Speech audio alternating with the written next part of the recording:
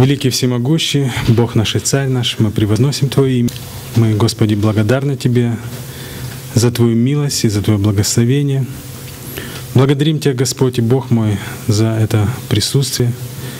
Мы нуждаемся, Господи, в Твоем водительстве и мудрости Твоей, Господь, и просим, чтобы Ты благословил всех нас здесь, чтобы, Господь, мы могли быть открыты, Господи, чтобы воспринимать информацию, которая, мой Бог, пригодится к нам, будет необходима нам. Просим Тебя, чтобы Ты благословил, Господь, и дал нам мудрости во всем. Просим Тебя об этом во имя Иисуса. Аминь. Хорошо. Значит, э, межзаветний период. Задам вам вопрос. Вообще, как бы, вы знаете, что такое межзаветний период? Да, да. Наверное, между и. Ну что вы подразумеваете более конкретно? Вот не было еще, не было пророка. Перед ним еще Мгм. где-то 400 лет. Мгм. Да? Есть еще какие-то варианты? Это время от, э, от книги пророка, время пророка Малахии до Мгм. Ну, еще есть какие-то варианты? Ну, обычно это самый распространенный, да, такое вот мнение. А, спасибо. Обычно это самое такое, знаете, распространенное мнение, что межзаветний период это, ну, это можно пока не записывать, будем об этом говорить более детально.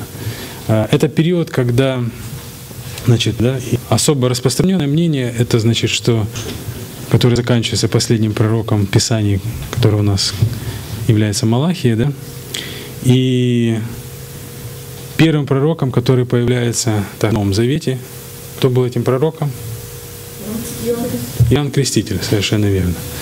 А вот, что вот именно этот промежуток времени, он называется межзаветним периодом. Ну, знаете, здесь есть много разных таких, э, сильное эхо такое, чуть-чуть убери. Э, Здесь есть разные мнения, мы будем чуть позже об этом говорить.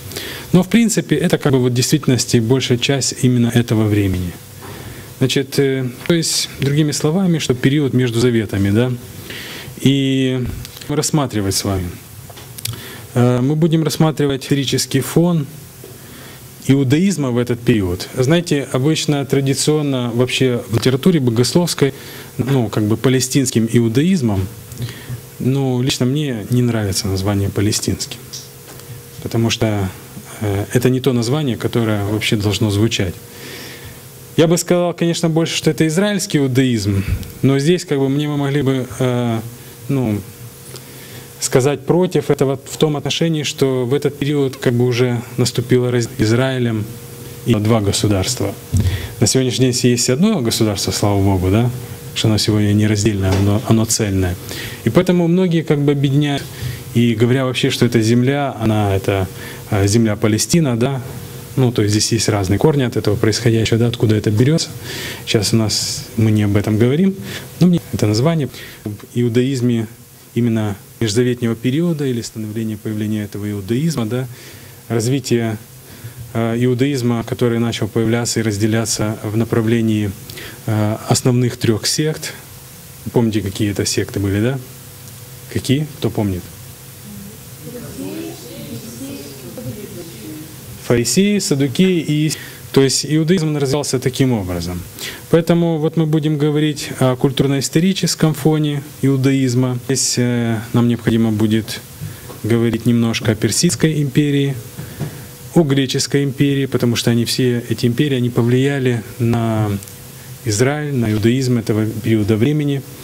Значит, мы затронем вопросов, связанных с Александром Македонским, э, с селевкидами, османиями, Э, немного поговорим о Римской империи. Вот. Также мы будем рассматривать социально-политический фон этого периода, то есть иудейская литература периода второго храма, секты, то, что мы только что говорили, да, партии, классы этого институты, какие были в это время, то есть это храм, синагога, синедрион. Также мы посмотрим э, философский э, фон, значит, философии, какие существовали в этот момент, э, та- тай- таинственные религии или мистические религии, которые также присутствовали. И самое важное, то, что, может быть, в итоге будет нам показывать, это мессианские надежды и эскатология.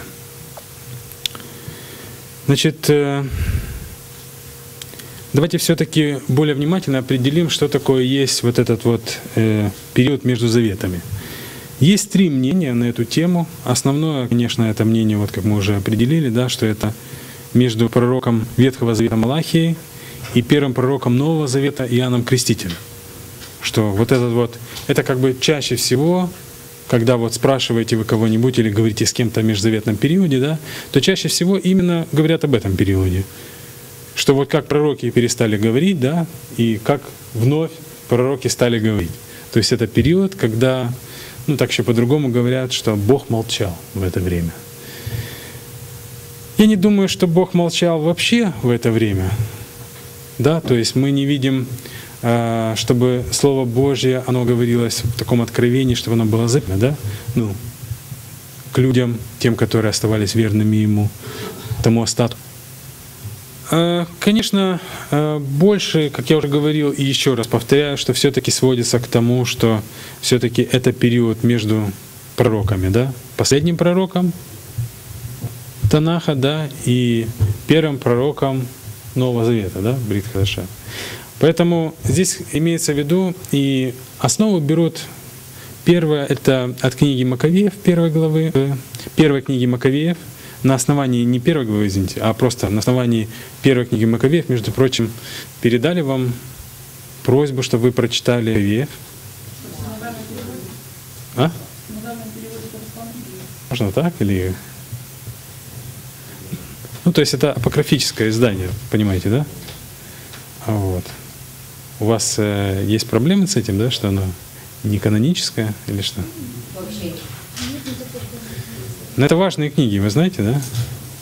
Это, да, они считаются не боговдухновенными книгами, да, они не вошли в канон, но они считаются важными книгами, историческими книгами, книгами мудрости, то есть это важные книги.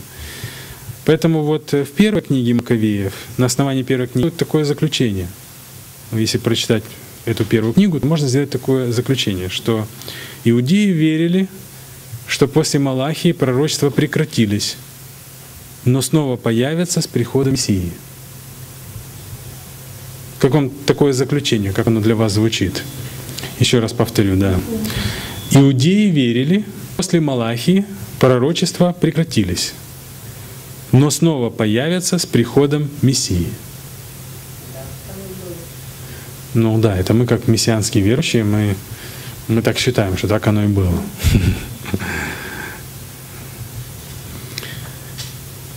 Есть такой историк, еврей, Иосиф Лавий. Знакомо для вас это имя? Да, две очень важные книги, которые, ну, просто рекомендую вам прочитать.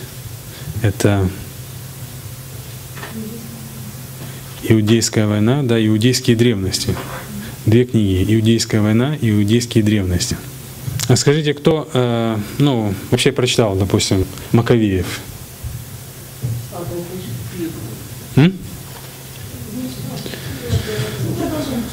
Ну, они не, не, не, они же там небольшие вообще. Вот Маковеи вообще небольшие, да? Ну, а?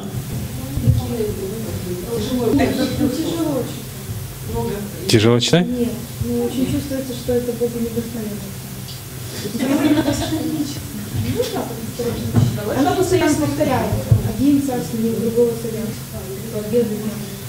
Ну хорошо. А, то есть хоть кто-то а, посмотрел в эти книги, да? Хорошо. Такие страшные вещи Страшные вещи? Это, это знаете, один а, сейчас брат свидетельствовал, и вот э, он вернулся с Камчатки, там служил ну, на флоте. И приехал в Одессу, пришел, значит, к своему отцу, а его папа кричит, горе, у нас горе, там сестра твоя все, кто попала, в общем, проблемы. И он говорит, папа, не переживай, говорит, я офицер, у меня высшее образование, говорит, я в чем здесь подвох?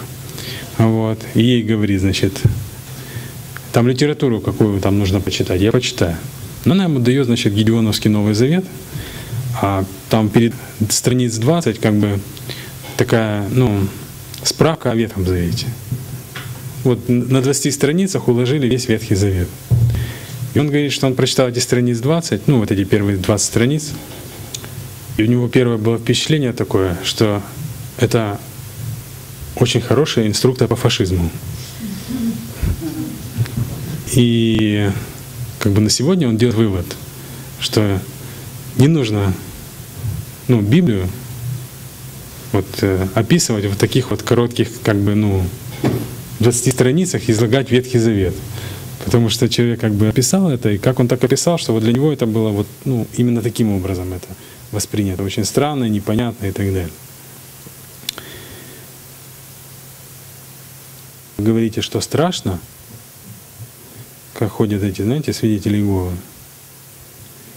И говорят, что вот ваша Библия на русском языке, она не настоящая. Потому что разве Бог мог дать распоряжение, чтобы э, людей распиливали, ложили их под молотильные эти там какие-то оборудование это, да, то есть таким образом. Поэтому, знаете, я очень люблю Библию, знаете, по одной причине. Ну, это как бы одна из причин. Потому что Бог все говорит так, как оно есть на самом деле. Ничего не украшает. Э, он, знаете, не прячет чей-то грех. Все во свете, все открыто, все понятно. Все имеет свой смысл.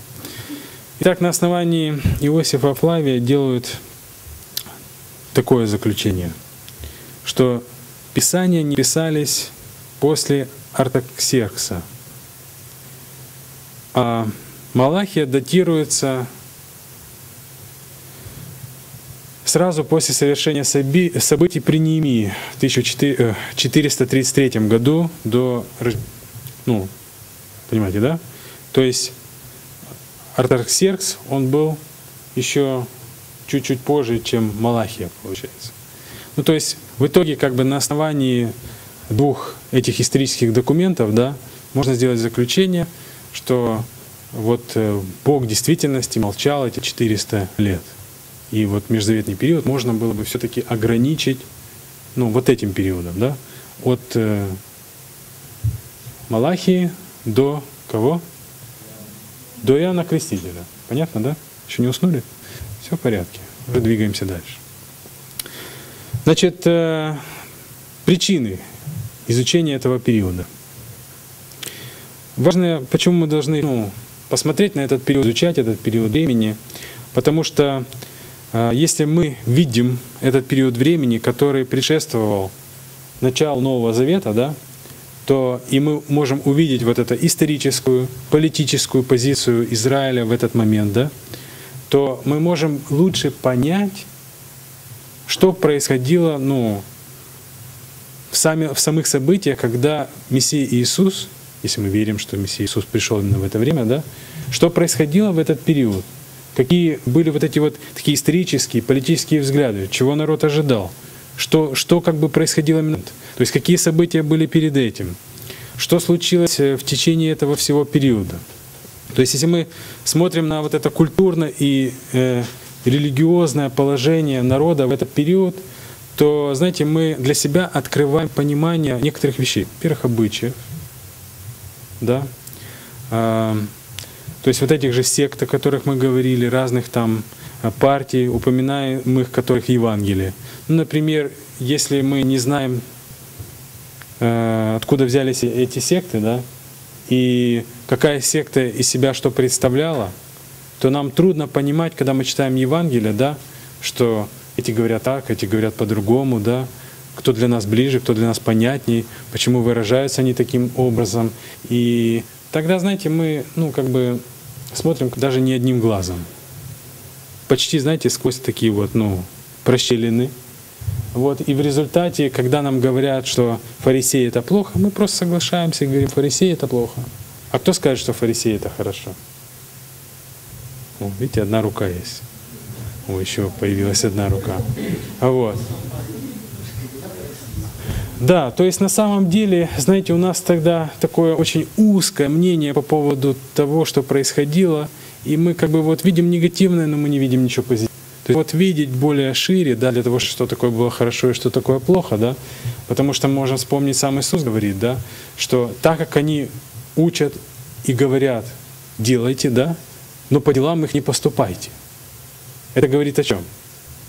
Значит, то, чему они учили, то это было что? Это было хорошо, да? Но многие вещи, по которым они поступали, это было плохо. Поэтому он говорит, что так они учат, это хорошо, так как они поступают, это плохо. Поэтому вы не поступайте таким образом, да? Но делайте так, как они учат, потому что это хорошо. Так что же все-таки такое плохо? Для того, чтобы это понять, с этим разобраться, посмотреть, откуда что появилось, чему кто учил и так далее, да? Я прошу прощения, у меня здесь компьютер перезагружается все время. Хорошо. Э, кто из вас, пока у меня это все дело перезагружается, я спрошу еще. Кто из вас читал иудейские древности? О, есть несколько человек. Замечательно. А, а иудейскую войну? Те же самые руки. Понятно.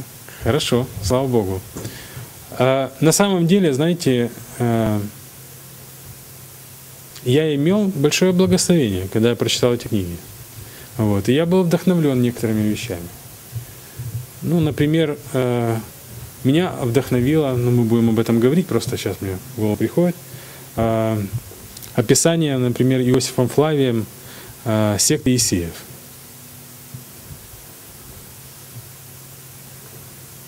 Он ее описывает как бы человек такой, знаете, можно сказать, практически как мирской. Со своей точки там описывая эту секту, он, ну, что, знаете, эти люди, они жили такой особой, может быть, особлен, особлен, ос, обособленностью, да, и в результате как бы многих не допускали к себе, ну то есть нужно было там, по-моему, три года ждать для того, чтобы стать частью вот этой вот секты, например, да, но в результате вот он делает такое заключение. Эти люди, они жили очень долго, многие переживали сто лет. В то время это было вообще на самом деле, ну, частое явление, да, то есть люди умирали, ну, многие очень рано вообще. Вот. А это движение, видите, люди, почитающие Бога, да, они так интересно, будем говорить более подробно потом, там, они очень рано вставали, молились, а там, читали Слово Божье, потом, или, потом они возвращались с работы, а, вместе, значит, одевали специальную одежду, там, кушали, после этого, в котором что перемена? Ага. Хорошо. Значит, э, вы себе отметили, да, какие книги? Вот это, в принципе, вот из таких, знаете, исторических документов, это вот основные книги. То есть, которые вот действительно говорят об этом периоде. Если вы их прочитаете, то вы будете очень хорошо понимать этот период. Будете видеть, что происходило, что, зачем, почему и для чего. Значит, э, Сделаем отметку о периодах, которые показывают действительно огромные изменения вообще в Израиле. Значит, э, конец Танаха.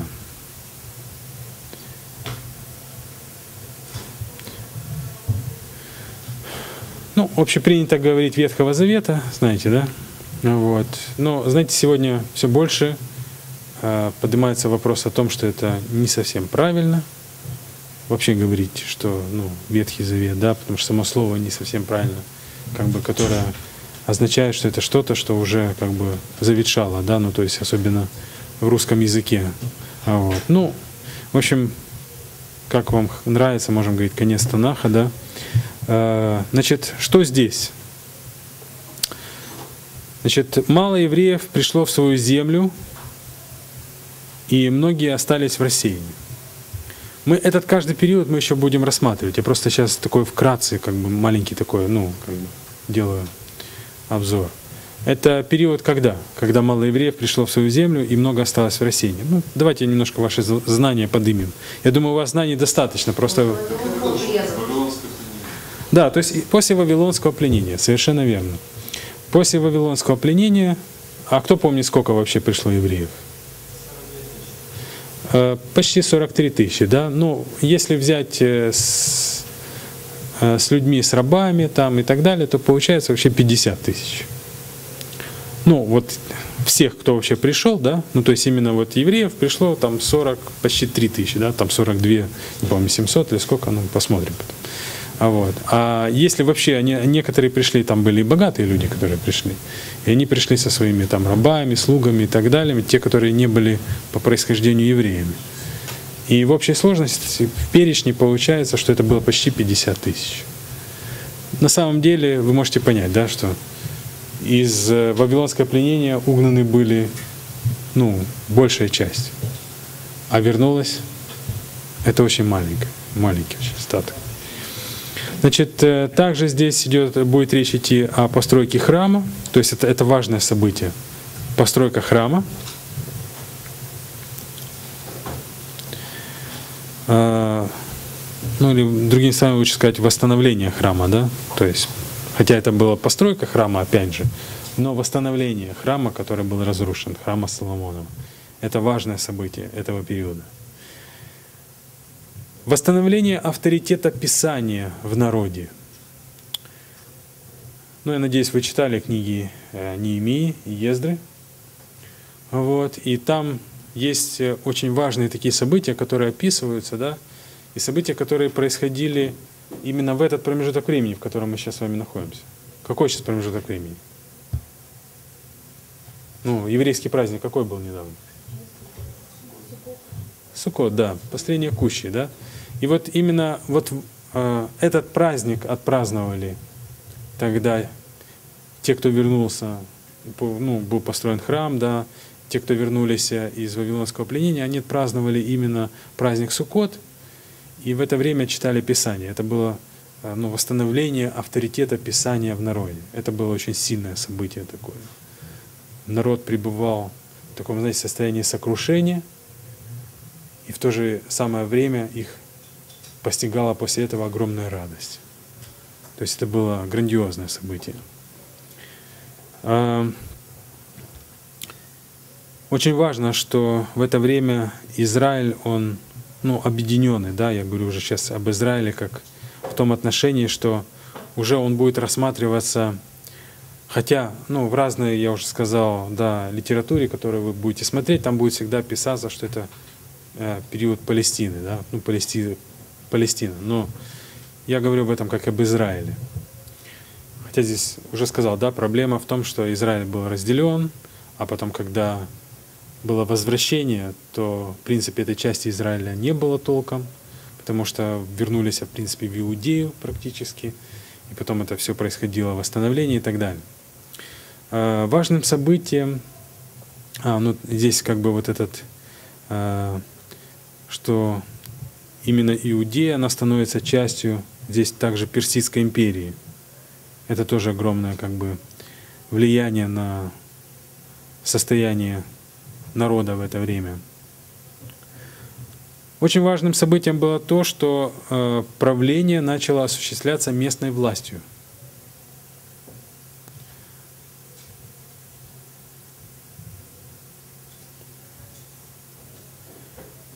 Еще одно событие. В этот период времени было много браков с иностранками. Особенно это относилось к священническому роду. И вот э, книги Неемии и Ездры описывают эти события также, да, мы помним. Что происходило, значит, э, в начале Нового Завета, то, что является тоже таким важным, что повлияло на Израиль, на его изменения. Это, значит, Ирод – правление Ирода.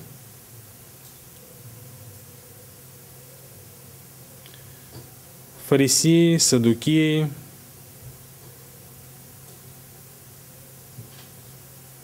прокуратор,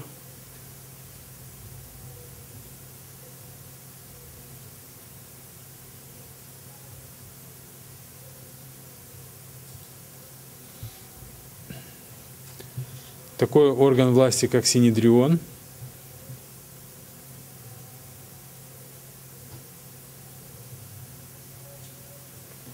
и развитие такой темы, как предание старцев.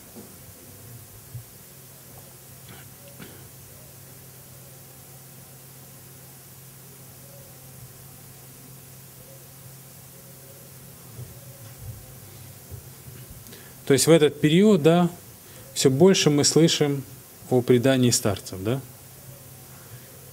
Не то, что было написано, да, а то, что было передано из уст в уста. Что-что? Устная Тора, да, совершенно верно. Вот.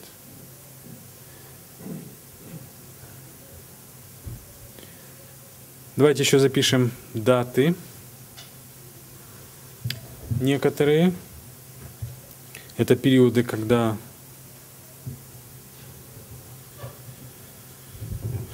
евреи находятся под чьей-то властью. Значит, э, первое это были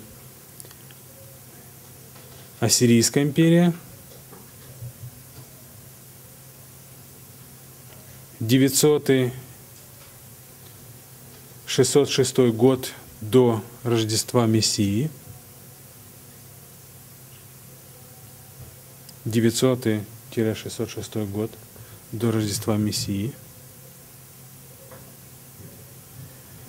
Вавилонская империя, это 606 год, 536 год, 900 год, 606 год. Это существующие империи, которые также оказывали какое-то влияние на еврейский народ. Вавилонская империя, 606 год, 536 год. Это все до Рождества Христова, понятно, да? Потом Персидская империя, Вавилонская, 606, 536.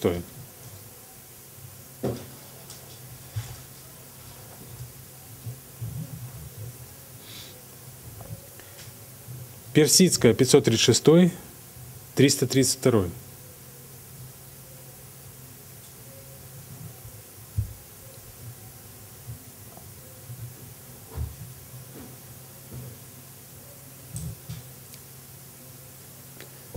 Греческая.